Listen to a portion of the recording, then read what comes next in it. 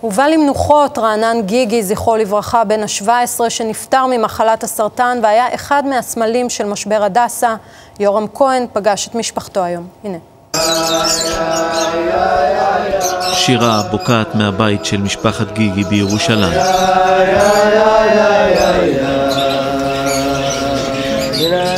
הגענו בשעה שש הייתה הלוויה, גמרנו, גמרנו אותה בעשר וחצי, לא הפסיקו לשיר. אני הרגשתי שאני מחתן את הבן שלי. היו אורות, היה מעמד ממש מרומם ומרגש והתקבצו ובאו כל שכבות העם. זה היה משהו של חיות, אני דמיינתי אותו, יוצא ככה, מוזיז את המכסה של הקבר, מציץ, מחייך את החיוך הזורח שלו. ואומר תמשיכו, תמשיכו, הייתם סבבה, תמשיכו. רענן, בן 17, נפטר אתמול לאחר מאבק קשה במחלת הסרטן שנמשך שנתיים. הוא ומשפחתו מוכרים בשל המאבק של הרופאים במחלקה ההמטו-אונקולוגית בבית החולים הדסה עין כרם. אלינור גיגי, אימא של רענן, אימא לילד חולה במחלקה. היה מאבק קשה, אשתי שדיברה שם והתראיינה והכל, היא תמיד דיברה רק טוב. על הדסה יש לנו לדבר רק טוב. אז סגירת המחלקה השפיעה על הטיפול? לא. על הטיפול של רענן, פשוט עברנו לתל השומר, ואני חושב ששדרגנו אפילו את הטיפול.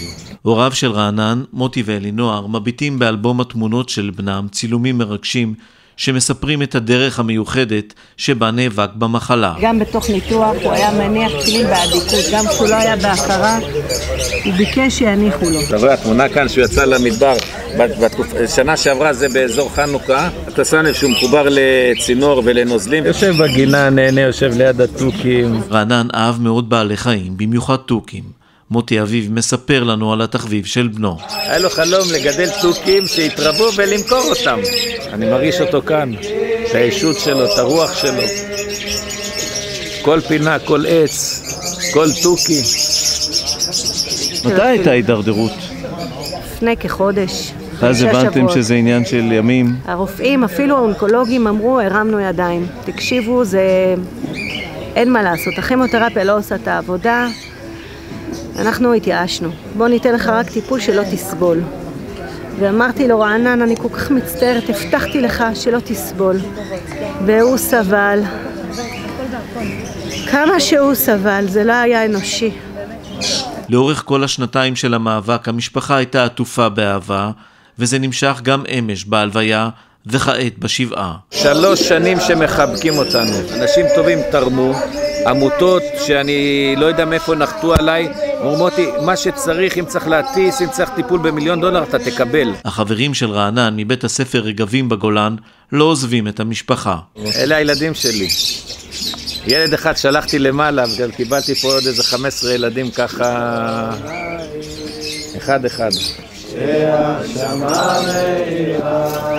אמרנו, הנה הניצחון של הרוח, שגם במצבים הכי נמוכים, הכי מטושטשים, הוא לא ויתר להניח תפילין. תעשה שאלת רב אם אני יכול, שכל הצינורות האלה עוטפים אותי, אם אני יכול להניח תפילין. חלק מהצבא של רענן זה ל- לראות את הטוב. יש לי תשעה ילדים, שרענן הוא המרכזי, כחנוכיה, שהנר השמש, מהשמש, הוא מדליק את כולם.